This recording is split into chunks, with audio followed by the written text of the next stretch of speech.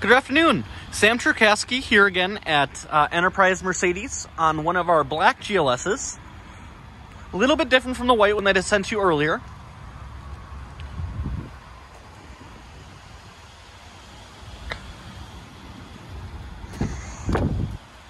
It's a little bit different trim option.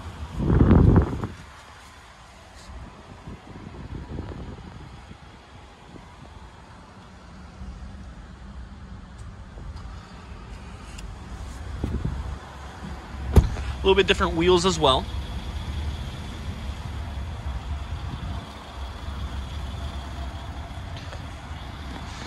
So as far as options on this one, uh, we have 20 inch wheels, uh, so a little bit different from the other ones. We have uh, augmented video for the navigation system. And then this one has active lane keeping assist. So what active lane keeping assist does is as you're driving on the highway, um, the car is going to actively keep you in your lane, and if you drift out of the lane, it'll kind of nudge you back in. It has a standard cruise control system, kind of, I, I, obviously I don't know what you drive currently, but just a normal cruise control that does not accelerate or brake for you according to traffic. That is what the adaptive cruise control feature is. So this one's a little bit different. So it, it's just standard cruise control, and then it does keep you balanced in your lane. So it'll nudge you back in the lane if you were to drift out. And then we have uh, power second row window shades. We have heated and cooling cup holders, panoramic sunroof, heated steering wheel. We have a trailer hitch.